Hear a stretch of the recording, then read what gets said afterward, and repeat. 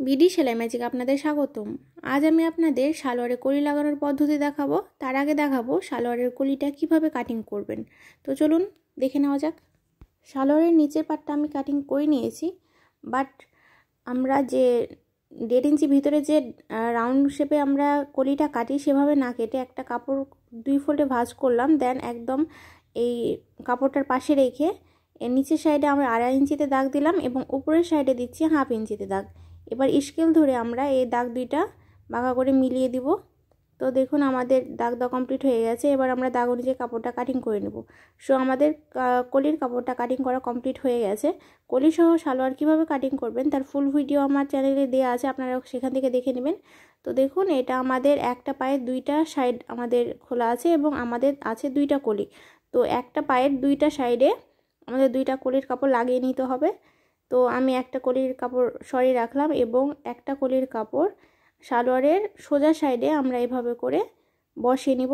লক্ষ্য রাখবেন, আমরা ছোট, কলির ছোট সাইডটা রেখেছি ওপরে এবং যেটা চওড়া সাইড সেটা রেখেছি নিচের সাইডে দেন আমরা সেলাই করে নিচ্ছি। তো আশা করি বুঝতে পেরেছেন, আপনারা প্রথমে এভাবে করে সেলাই করে নেবেন।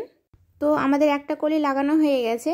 এবার আমরা আরও একটা যে সাইড আছে, সে সাইডেও সেমভাবে কলিটা লাগাবো। তো দেখুন, এ সাইড কিন্তু আমাদের খোলা আছে। তো আরও একটা কলি নিয়ে আমরা এর ওপর বসাবো। তো লক্ষ্য রাখবেন, আপনাদের সেলাইটা যাতে ভিতরের দিকে থাকে, অর্থাৎ আপনাদের সোজা সাইডে এভাবে করে কলিটা বসাতে হবে দেন সেলাইটা ভিতরের দিকে যাতে চলে যায়। তো আমরা এটা উল্টো দিকে বসালাম দেন আমরা এবার জয়েন্ট করব। অনেকেই আছে যাদের সালোয়ারের কলি লাগাতে সমস্যা হয়। আজকের ভিডিওটা আমি তাদের জন্য স্পেশালি বানিয়েছি। তো এটা আমি সেলাই করে নিয়েছি। তো দেখুন, দুইটা সেলাই কিন্তু আমাদের ভিতরের দিকে আছে এবং সেলাইয়ের পরের লুকটা আমি আপনাদের দেখাচ্ছি। এটা কিন্তু এই যে এরকম আসবে উপরের সাইড থেকে। তো এটার ফুল লুকটা আমি আপনাদের আবারও দেখিয়ে দিচ্ছি। এটা কিন্তু আমরা একটা পায়ের সাথে দুইটা কলি লাগিয়েছি।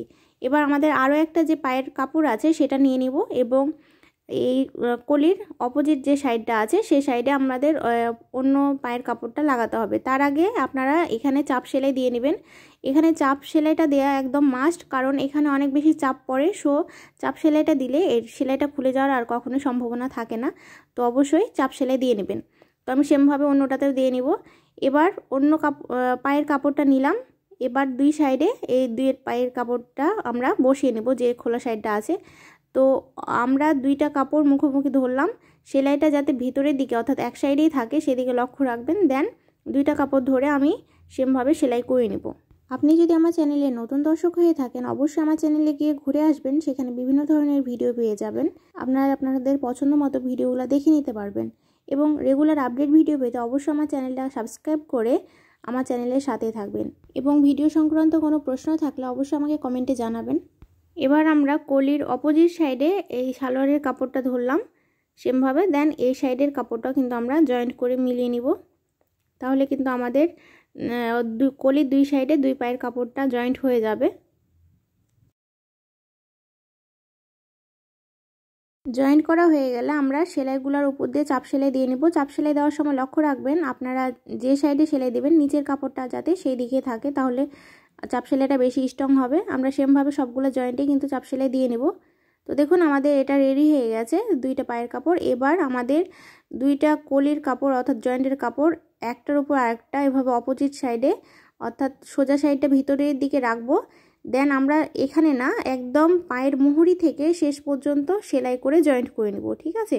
তো আমি আপনাদের সেটা দেখিয়ে দিচ্ছি। দেখুন, আমরা পায়ের মুহুরি নিচ থেকে ধরবো এবং একদম নিচ থেকে যতটুকু আপনাদের দরকার মেজারমেন্ট সে অনুযায়ী আপনারা এভাবে করে সেলাই করে নেবেন। তো আমরা সেলাই করে নেব। আমাদের কলিটা রেডি হয়ে গেছে। এবার উপরের দিকে আমরা বেলটা লাগিয়ে নিব, তাহলে কিন্তু আমাদের এই সালোয়ারটা কমপ্লিট হয়ে যাবে। তো আজকের মতো এই পর্যন্তই। আমার পরবর্তী ভিডিও দেখার আমন্ত্রণ রইল। আসসালামু আলাইকুম।